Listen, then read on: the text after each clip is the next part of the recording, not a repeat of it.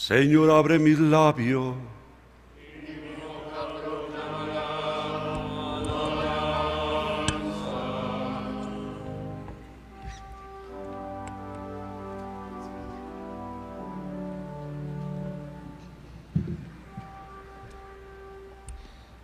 Cristo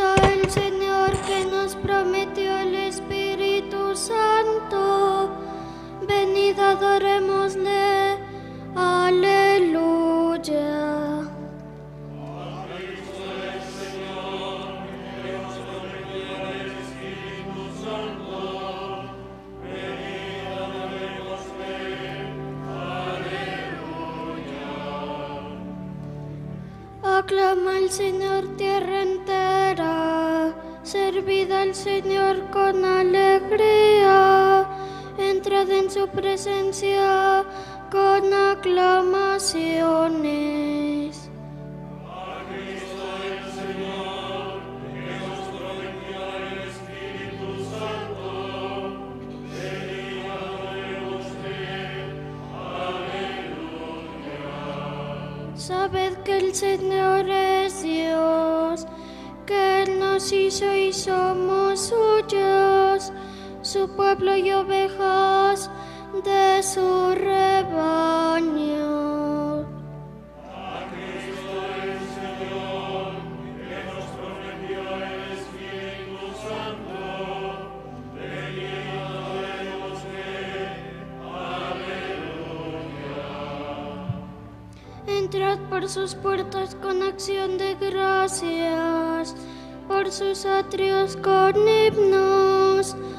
dándole gracias y bendiciendo su nombre.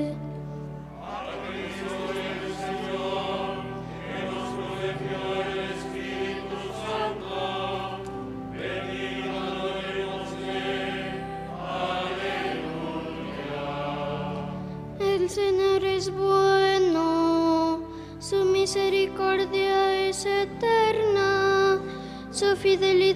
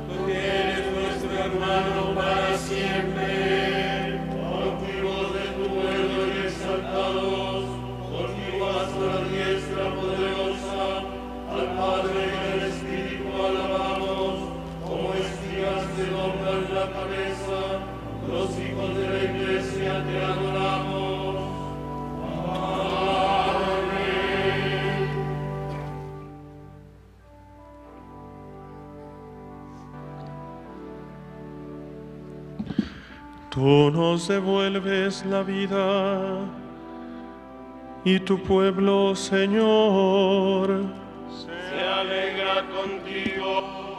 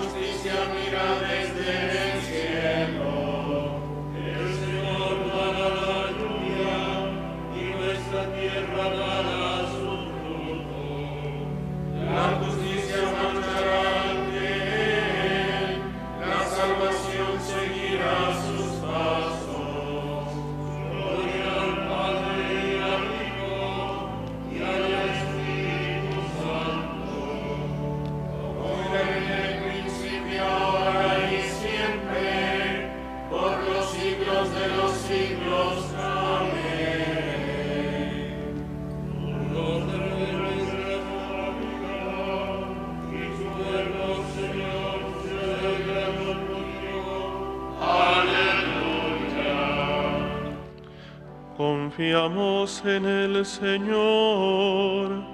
Que nos luz.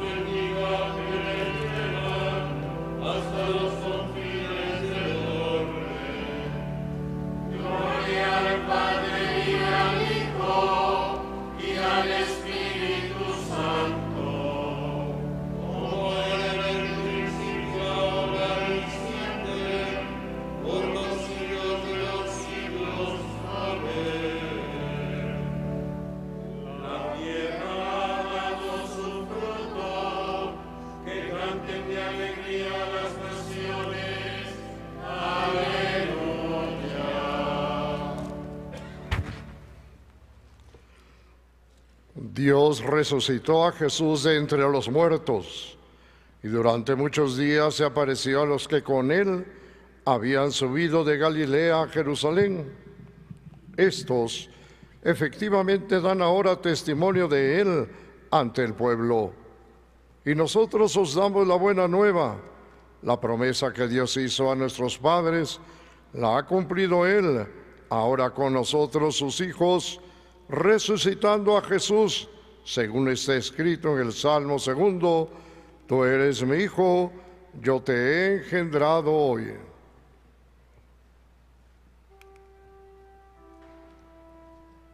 El Señor ha resucitado del sepulcro. Aleluya, aleluya.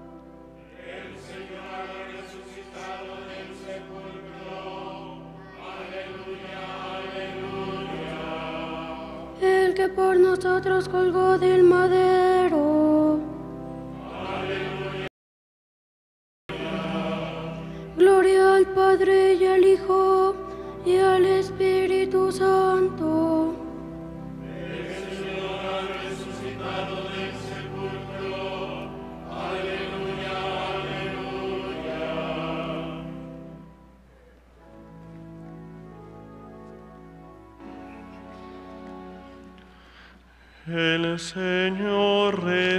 Resucitó.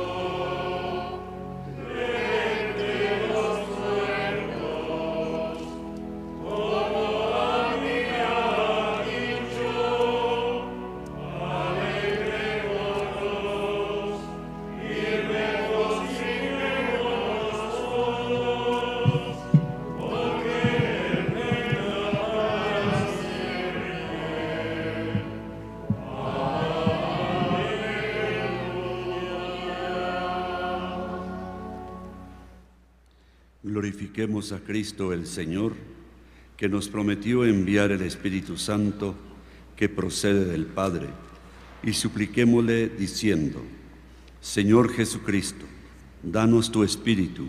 Señor, Señor Jesucristo, Jesucristo, danos tu danos tu espíritu. espíritu.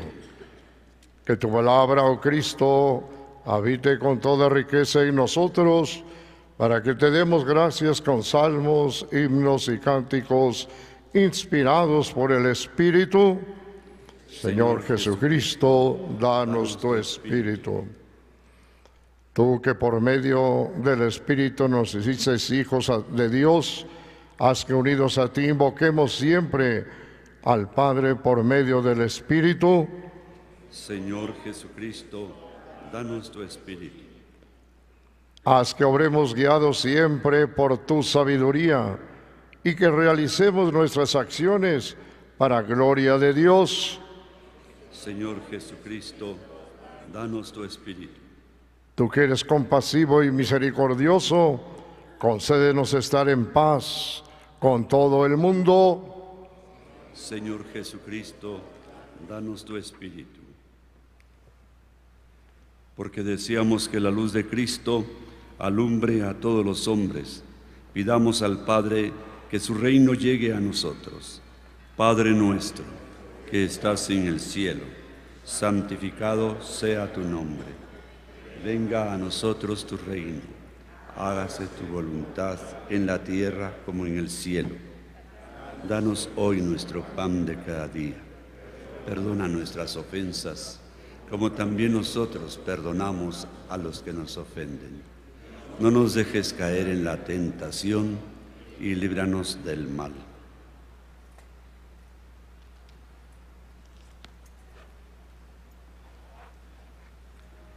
Dios omnipotente y misericordioso, te pedimos que nos envíes al Espíritu Santo para que habite en nosotros y nos transforme en templos de su gracia.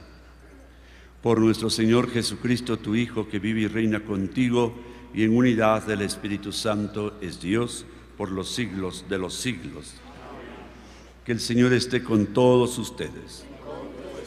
La bendición de Dios Todopoderoso, Padre, Hijo y Espíritu Santo, desciende y los acompañe siempre.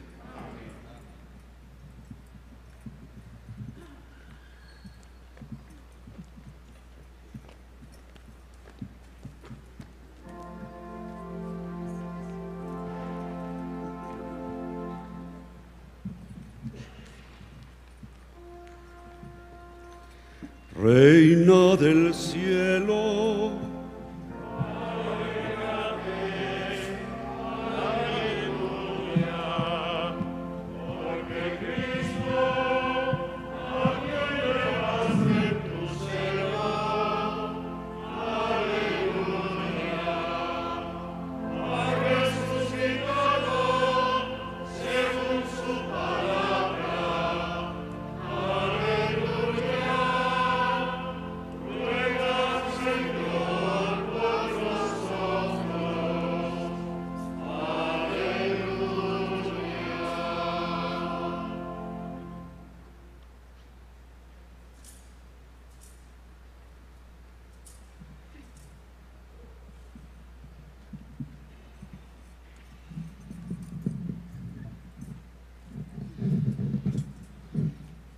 goza y alégrate Virgen María, aleluya.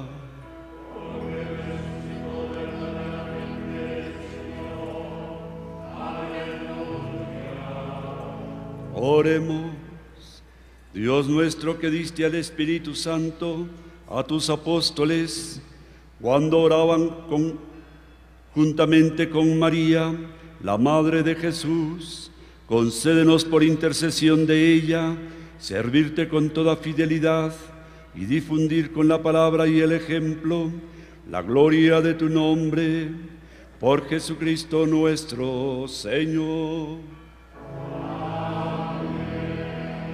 El auxilio divino permanezca siempre con nosotros.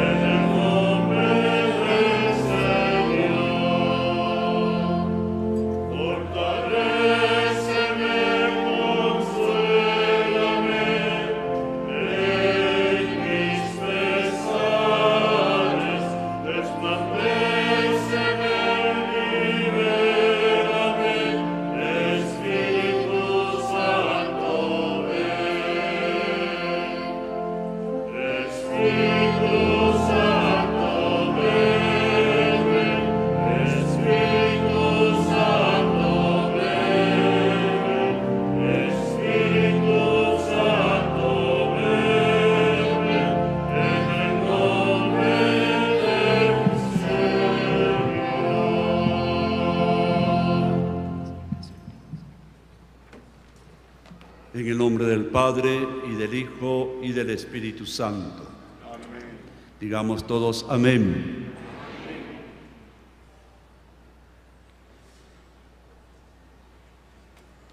El Dios de la vida que ha resucitado a Jesucristo rompiendo las ataduras de la muerte, esté con todos ustedes.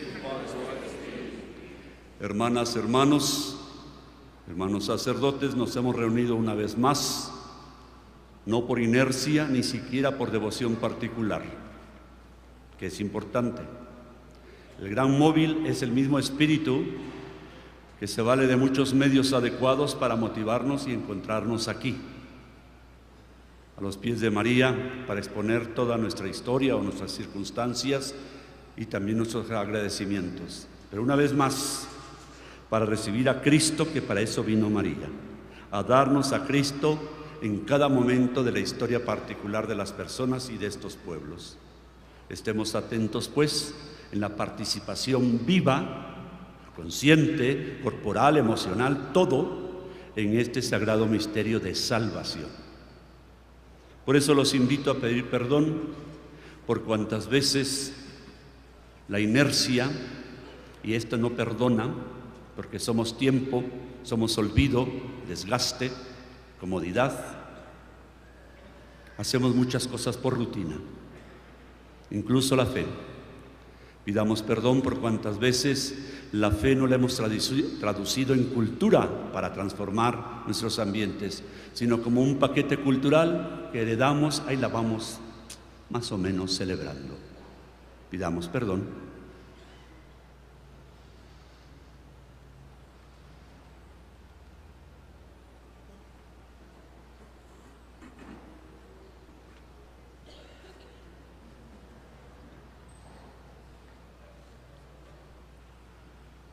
Digamos todos, yo confieso ante Dios Todopoderoso y ante ustedes, hermanos, que he pecado mucho de pensamiento, palabra, obra y omisión.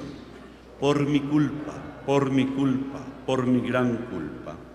Por eso ruego a Santa María, siempre Virgen, a los ángeles, a los santos y a ustedes, hermanos, que intercedan por mí ante Dios nuestro Señor. Dios Todopoderoso tenga misericordia de nosotros, perdone nuestros pecados y nos lleve a la vida eterna.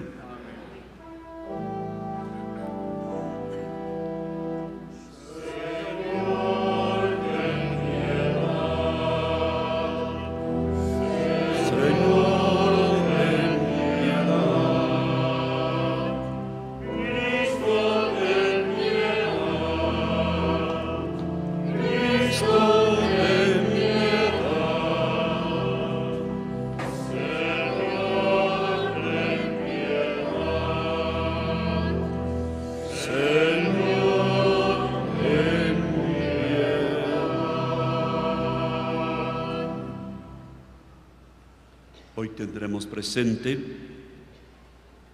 a Ernesto Herrera, Gabino Ortiz, Rodrigo de la Torre, Francisco Escalera y Rubén Padilla, quienes agradecen a la Virgen de Guadalupe los dones conseguidos para ellos. Todo don requiere trabajo, porque requiere no las gracias nada más, sino dar fruto con esos dones. Te pedimos, Dios omnipotente y misericordioso, que venga a nosotros el Espíritu Santo, que se digne habitar en nuestros corazones y nos perfeccione como templos de su gloria. Por nuestro Señor Jesucristo, tu Hijo, que vive y reina contigo en la unidad del Espíritu Santo y es Dios, por los siglos de los siglos. Tomemos asiento, escuchemos la palabra. Del libro de los Hechos de los Apóstoles. En aquellos días, hallándose Pablo en Mileto, mandó llamar a los presbíteros de la comunidad cristiana de Éfeso. Cuando se presentaron les dijo, Bien saben cómo me he comportado entre ustedes, desde el primer día en que puse el pie en Asia. He servido al Señor con toda humildad, en medio de penas y tribulaciones, que han venido sobre mí por las enseñanzas de los judíos también saben que no he escatimado nada que fuera útil para anunciarles el Evangelio, para enseñarles públicamente y en las casas, y para exhortar con todo empeño a judíos y griegos a que se arrepientan delante de Dios y crean en nuestro Señor Jesucristo. Ahora me dirijo a Jerusalén, encadenado en el Espíritu, sin saber qué sucederá ya. Solo sé que el Espíritu Santo en cada ciudad me anuncia que me aguardan cárceles y tribulaciones, pero la vida para mí no vale nada. Lo que me importa es llegar al fin de mi carrera y cumplir el encargo que recibí del Señor Jesús, anunciar el Evangelio de la gracia de Dios. Por lo pronto, sé que ninguno de ustedes a quienes he predicado el reino de Dios volverá a verme. Por eso declaro hoy que no soy responsable de la suerte de nadie, porque no les he ocultado nada y les he revelado en su totalidad el plan de Dios. Palabra de Dios.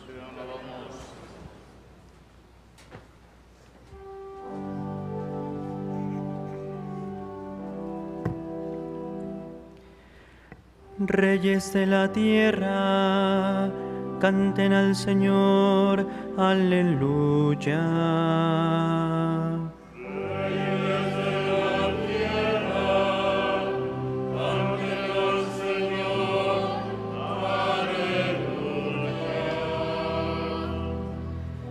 A tu pueblo extenuado diste fuerzas, nos colmaste, Señor, de tus favores, y habitó tu rebaño en esta tierra que tu amor preparó para los pobres.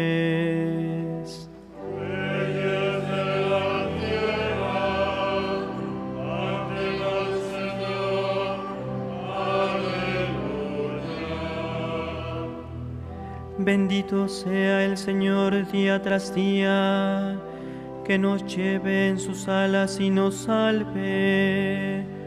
Nuestro Dios es un Dios de salvación, porque puede librarnos de la muerte.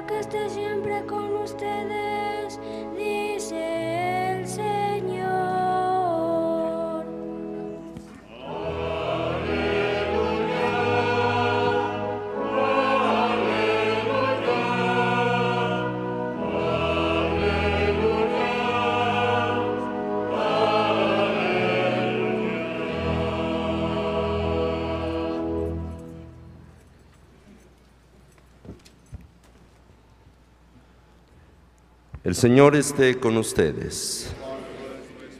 Del Santo Evangelio, según San Juan.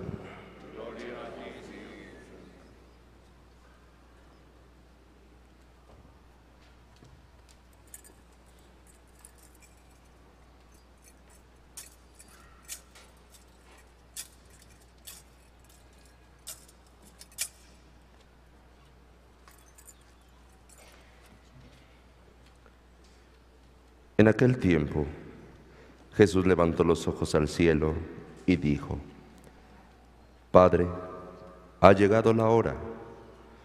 Glorifica a tu Hijo, para que tu Hijo también te glorifique. Y por el poder que le diste sobre la humanidad, dé la vida eterna a cuantos le has confiado. La vida eterna consiste en que te conozcan a ti, único Dios verdadero, y a Jesucristo, a quien tú has enviado. Yo te he glorificado sobre la tierra, llevando a cabo la obra que me encomendaste.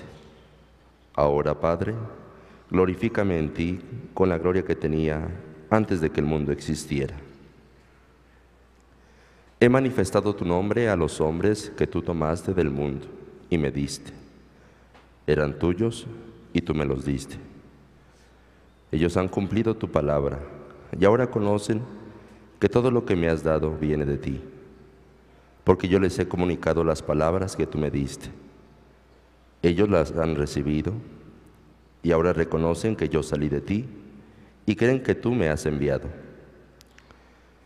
Te pido por ellos, no te pido por el mundo, sino por estos que tú me diste, porque son tuyos. Todo lo mío es tuyo y todo lo tuyo es mío. Yo he sido glorificado en ellos. Ya no estaré más en el mundo, pues voy a ti. Pero ellos se quedan en el mundo. Palabra del Señor. Gloria a ti, Señor. Tomen asiento, por favor.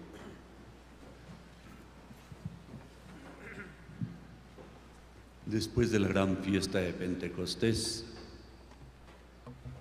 sigue lo que litúrgicamente le llamamos pues el tiempo libre de verde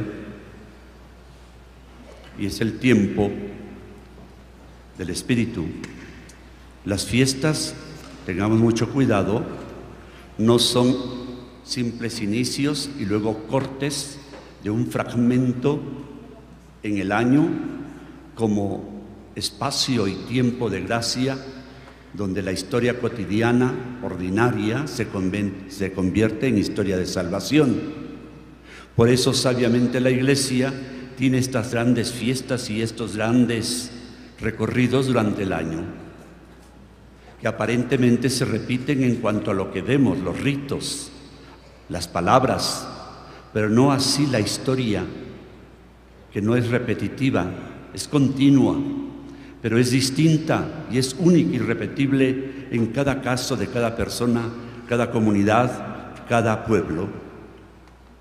Y en este tiempo largo, es tiempo de la iglesia inspirada por el Espíritu Santo. No se corta con Pentecostés, atención con esto.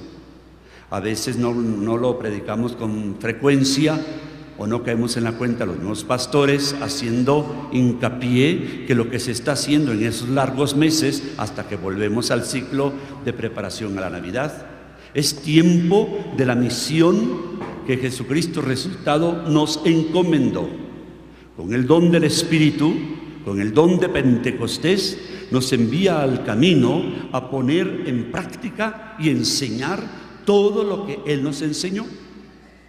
Y es tiempo, por lo tanto, de la pastoral ordinaria, organizada, el pastor convocando a los parroquianos, a los vecinos, cristianos católicos, a celebrar la fe, a alimentarla, educarla, porque hay que llevar a cabo una misión permanente y con el acento fuerte de estos tiempos, misionera, de nueva evangelización dentro de la misma iglesia para poder ofrecer con mayor sentido y credibilidad esta misma buena nueva al mundo de hoy que nos ha tocado vivir. Así que estos días y todos los misterios que hemos celebrado son un hilo que no se corta en pedazos, un solo hilo que nos va llevando a este momento de el don del Espíritu a la iglesia para misionar. Y vemos cómo Jesús, en varias ocasiones y en varias versiones de esta, de esta historia, se despide y en este caso, capítulo 17 de San Juan, está pidiendo de manera especial por aquellos que el Padre permitió que se allegaran a Jesús, aceptaran a Jesús, y Jesús los aceptó los hizo suyos, los fue educando, los fue alentando, los fue preparando, hizo ciertas pruebas de envío los evaluó y cada vez que ellos no comprendían y por fragilidad humana iban al contrario de lo que proponía Jesús, les tuvo paciencia. Se esforzaba más porque comprendían el reino de Dios es lo central, es el bien supremo que Dios ofrece al mundo en todos los tiempos y culturas. Y no es fácil, porque los seres humanos, aunque pequeños individualmente, somos grandes porque de alguna manera somos sacramento, semejanza del Creador. Y tenemos nuestra manera de pensar, de actuar, nuestras culturas, nuestros intereses, nuestras limitaciones y dones. Y a veces somos más enfrascados, agarrados de lo que medianamente aprendimos por la vida, en el hogar, en el barrio, la parroquia, en tiempo de las mocedades. Y a veces pasan décadas y seguimos en lo mismo. Y el mundo da muchas vueltas. Los pueblos tienen nuevos desafíos, nuevas equivocaciones y nuevas esperanzas. La iglesia tiene que no solamente salvaguardar la pureza del depósito de la fe como si fuera una joya valiosa y la meten en una caja de seguridad en un banco. No, es la gran joya de seguridad, de valiosa, perdón, pero es para lucirse, es para compartirla, es para que alegre a todos. La tradición de la iglesia, que no es igual que costumbrismos, es algo más dinámico, que no pierde su origen en el mismísimo Cristo que nos transmite los apóstoles. Pero es mucho más dinámico de las palabras cuadradas, repetidas hasta el cansancio. Es mucho más que algunas actuaciones de otros tiempos porque eran las indicadas. Pero hoy se indica otra cosa. Por eso, ojo, Pentecostés no fue hace dos mil años y ya. Y la iglesia agarra su rumbo como mejor pueda. El Espíritu Santo se le dio a la iglesia para que la acompañe, la guía, la guíe, la eduque, la reeduque, la transforme, la aliente, le diga la verdad de las palabras y acciones de Cristo. Les haga ver a, a los de la iglesia, pastores y laicos y consagrados, las nuevas realidades que nos desafían y en esas ser inteligentes, ser flexibles, pedagogos, gente acercada al pueblo y no por allá alejados los laicos de los otros y nosotros de ustedes.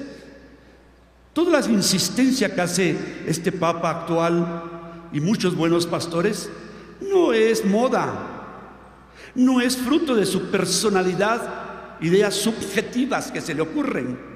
Es donde el Espíritu que está diciendo, iglesia, Galileos de estos tiempos, dejen de estar mirando a las nubes. Miren cómo está el mundo. Anúncienle la buena noticia.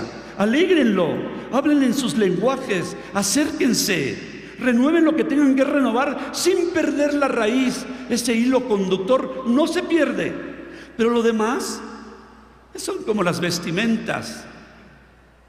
Esto no crean ustedes que siempre ha sido así. Estoy hablando de la tela sagrada, simbólica de un servicio, pero ha tenido estire y afloje, largo y corto, pesada y recamada y casi transparentes. ¿Y quién puede decir tontamente que esto es inamovible? Y muchas cosas más no son inamovibles. Lo permanente es Dios actuando en nuestro favor, no sin nosotros, a través de nosotros, con el Espíritu Santo en cada momento. Por eso el buen Jesús pide por nosotros, por una unidad que no es tipo ejército, no es tipo de gente domesticada por los medios para que compre y produzca hasta la saciedad o sin saciarse eternamente. No, Señor, el don del Espíritu Santo es para movilizarnos, es para inquietarnos. La paz no es como la paz que busca el mundo amañada, es una paz que nos mueve, nos saca de nuestros casilleros, nos saca de las parroquias, nos saca de los hogares. Y Pablo, bien que lo entendió, él se atrevió en una de sus cartas, testimoniar un poco de su propia vida, de su carrera, de cumplir la misión, de su conversión permanente, del bien que hizo, de las dificultades que sufre a causa de la evangelización. Los demás no sabemos, esos vacíos pues se van llenando según cierta idea piadosa, buena, porque no se atrevieron a escribir o algunos eran francamente analfabetas. Apenas se sabe de Pedro y de Pablo mucho. Pero se entiende que todos los grandes apóstoles y grandes discípulos de aquella época que fueron aprendiendo y poco a poco comprendiendo qué significa Jesucristo en nuestra historia, qué significa el don del Espíritu, qué significa tener esta religión, fue a través del tiempo, a tal grado que maduró su fe y hasta la sangre derramaron, como la va a derramar más después Pablo. Y Pablo tiene conciencia de que lo dio todo, honestamente dio todo. No le jugó al superhombre, no se creía el santo de los santos, ni el sabio de los sabios, ni el más fuerte. Simplemente tenía conciencia de haber puesto todo en el asador, sin quedarse nada. Y por eso al final le dice, si algo les pasa a ustedes, es su responsabilidad. Yo les hablé clarito y a tiempo, y a destiempo, y de mil maneras les hablé de Jesucristo muerto y resucitado. Les hablé del camino del, Evangelio. Les hablé de lo que significa aprender a ser iglesia. Les hablé de la misión de la iglesia. Voy encadenado, pero voy satisfecho. Estoy cumpliendo mi misión. Ojalá pudiéramos decir sacerdotes, laicos, consagrados, lo mismo. Pero para eso les decía en la petición de perdón, rebasar esa idea que no se reflexiona pero se vive. La religión a veces se convierte en un elemento más del multicolor cultural que recibimos desde la cuna de nuestra familia, de nuestros ambientes de barrios y según donde tuvimos nuestros primeros años de vida. Y eso nos marca la personalidad, la memoria, la forma de ser y de ver la vida. Y si no lo hacemos como Pablo, de dejarse tirar del macho en que andaba montado, porque así nos montamos nosotros, pues seguimos en la misma. Tenemos que ser capaces de recoger agradecidos ese paquete cultural y abrirlo. Abrirlo. Y no solamente decir, soy creyente. Es que mi mamá me llevó al bautismo. Es que esa es la costumbre del pueblo. Esos son los medios que Dios permite. Y qué bueno, ojalá los usemos. Pero tenemos que tomar conciencia quiénes somos, por qué y para qué, y qué medios estamos teniendo, y que a veces rutinariamente los celebramos sin sacarle todo el poder transformante que tiene, que son los sacramentos, la oración, la caridad, que es la señal franca de que hay una fe madura y no mochilona, ni truncada, ni por pedazos, sino una fe que se ha alimentado, se ha educado, se testimonia. Cuando bien se entiende esto, entonces hacemos el esfuerzo de que la fe cristiana católica que hemos recibido y alentado en el seno de la iglesia, la vamos convirtiendo cultura, que no significa estar repartiendo rosarios a diestra y siniestra. No estoy en contra de esa devoción hermosísima, pero ese no es el objetivo. El objetivo es que cada valor del Evangelio que vimos que Jesús lo habló y lo vivió hasta la cruz, eso forme parte, ahora sí, de las grandes tradiciones grandes y muy buenas costumbres, valores, actitudes y conductas cotidianas de nuestros pueblos. Porque si nosotros dejamos todo esto aquí, no pasa nada allá. Allá nos moldea, nos guste o no, la sociedad con todas sus presiones y terminamos siendo o no pasando de perico palo. Muy creyentes, muy persinados, muy devotos, pero no pasa nada. Y el mundo sigue ardiendo y esperando al buen Dios su mejor bien. Entonces, esto que hacemos hay que traducirlo, no en devocionalismos, eso se respeta de cada uno, sino los valores para humanizar, para contrastar violencia y corrupción, para dar una mejor cultura y civilización a los que vivimos y a los que vienen. Esto es evangelizar, transformar el mundo para que el mundo logre su meta, como dice San Pablo, porque para eso fue creado, para hacer plena comunión los seres humanos con nuestro Creador.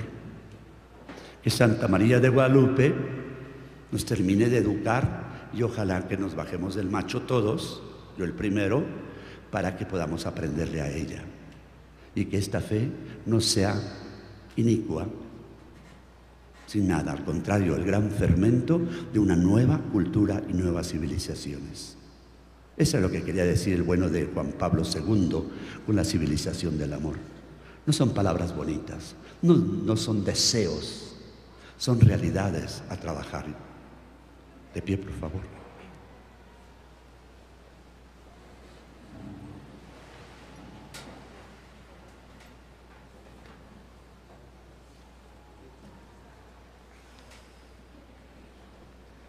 Por eso vamos a pedir al buen Dios con ganas de trabajar en la línea que Él nos inspira.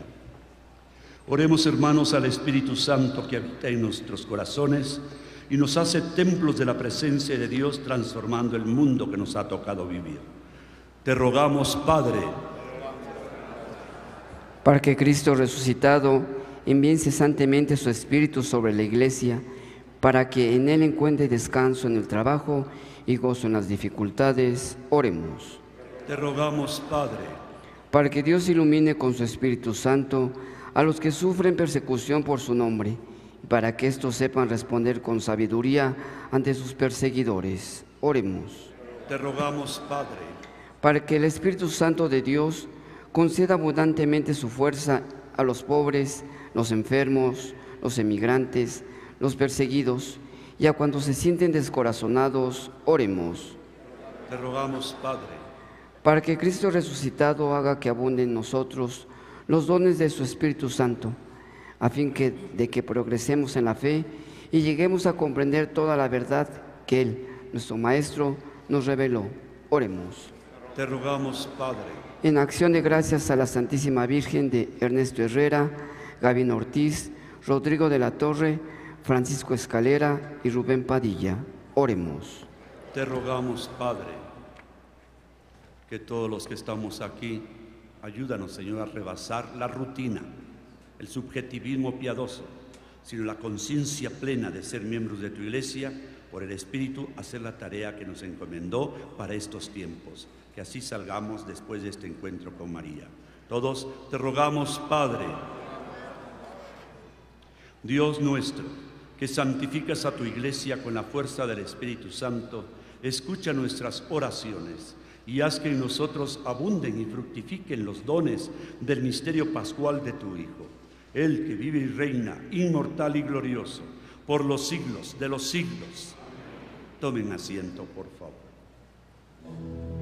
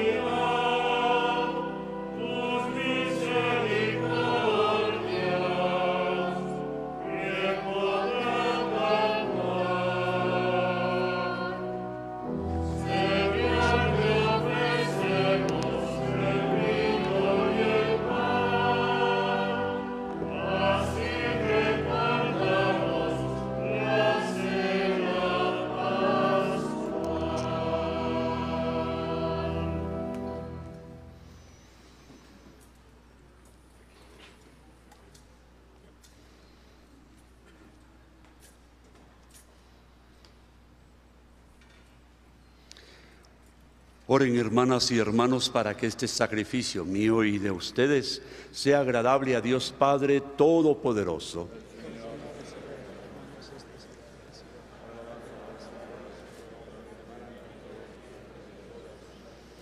Recibe, Señor, las súplicas de tus fieles junto con estas ofrendas que te presentamos, para que lo que celebramos con devoción nos lleve a alcanzar la gloria del cielo. Por Jesucristo nuestro Señor, que el Señor esté con todos ustedes. Levantemos el corazón. Demos gracias al Señor nuestro Dios. En verdad es justo y necesario es nuestro deber y salvación darte gracias siempre y en todo lugar, Señor Padre Santo, Dios Todopoderoso y Eterno. Porque el Señor Jesús, Rey de la Gloria, triunfador del pecado y de la muerte, ante la admiración de los ángeles, ascendió a lo más alto de los cielos como mediador entre Dios y los hombres, juez del mundo y Señor de los espíritus celestiales no se fue para alejarse de nuestra pequeñez, sino que para que pusiéramos nuestra confianza en llegar como miembros suyos a donde Él, nuestra cabeza y principio, nos ha precedido. Por eso, con esta acción de gracias, a ti Señor te cantamos con tus ángeles y tus santos.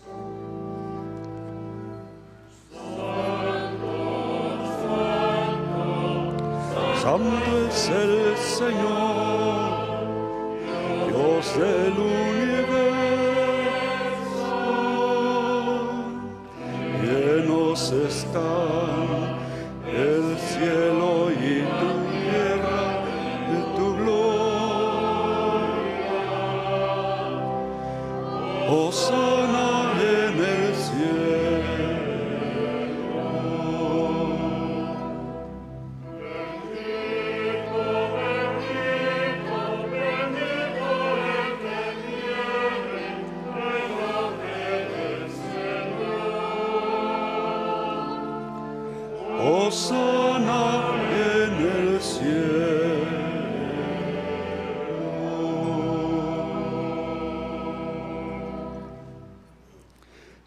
en verdad, Señor, fuente de toda santidad.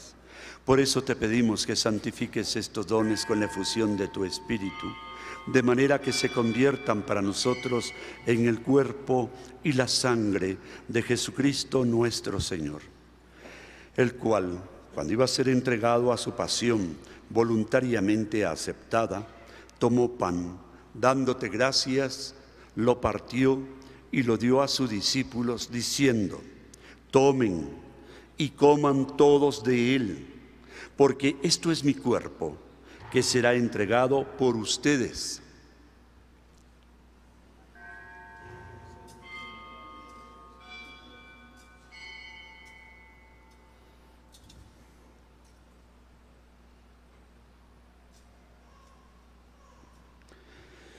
Del mismo modo, acabada la cena, tomó el cáliz y dándote gracias de nuevo, lo pasó a sus discípulos diciendo, tomen y beban todos de él, porque este es el cáliz de mi sangre, sangre de la alianza nueva y eterna, que será derramada por ustedes y por muchos para el perdón de los pecados. Hagan esto en conmemoración mía.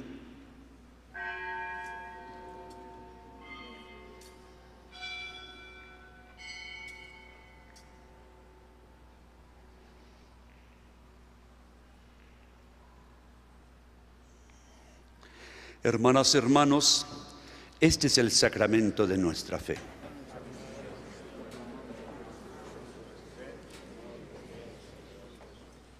Así pues, Padre, al celebrar ahora el memorial de la muerte y resurrección de tu Hijo, te ofrecemos el pan de vida y el cáliz de salvación.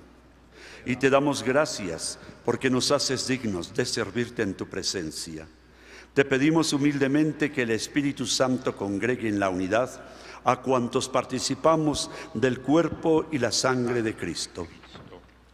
Acuérdate, Señor, de tu iglesia extendida por toda la tierra y con el Papa Francisco, con nuestro obispo Norberto, sus obispos auxiliares y vicarios episcopales, y con todos los pastores que cuidan de tu pueblo, llévala a su perfección por la caridad. Acuerdo también de nuestros hermanos que se durmieron en la esperanza de la resurrección y de todos los que han muerto en tu misericordia. Admítelos a contemplar la luz de tu rostro. Ten misericordia de todos nosotros. Y así con María la Virgen, Madre de Dios, su esposo San José, los apóstoles y los santos, San Juan Diego, y cuantos vivieron en tu amistad a través de los tiempos, merezcamos por tu Hijo Jesucristo compartir la vida eterna y cantar tus alabanzas. Por Cristo, con Él y en Él, a ti Dios Padre Omnipotente, en la unidad del Espíritu Santo, todo honor y toda gloria, por los siglos de los siglos. Vamos pues a hablar con nuestro Padre con esa oración que nos enseñó Jesús, devolviéndole su sentido primario. No es una palabra devocional, si no me sé explicar, hay diccionarios. Es un programa de acción de Cristo, de la Iglesia y de cada uno de nosotros. Cada palabra, al ser rezada y proyectada a la vida práctica, eso es evangelizar también. Digamos, Padre nuestro, que estás en el cielo, santificado sea tu nombre, venga a nosotros tu reino, hágase tu voluntad en la tierra como en el cielo. Danos hoy nuestro pan de cada día. Perdona nuestras ofensas, como también nosotros perdonamos a los que nos ofenden. No nos dejes caer en la tentación y líbranos del mal. Líbranos de todos los males, Señor, y concédenos tu paz en nuestros días, para que, ayudados por tu misericordia, vivamos siempre libres de pecado y protegidos de toda perturbación, mientras esperamos la gloriosa venida de nuestro Salvador Jesucristo. Tuyo es el reino, tuyo el poder y la gloria por siempre, Señor.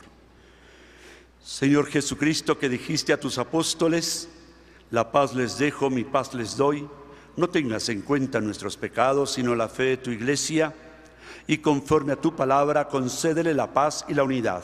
Tú que vives y reinas por los siglos de los siglos, que la paz de Jesús Eucaristía sea siempre con todos ustedes. Y con tu espíritu. En el espíritu de Cristo resucitado, den su saludo de paz.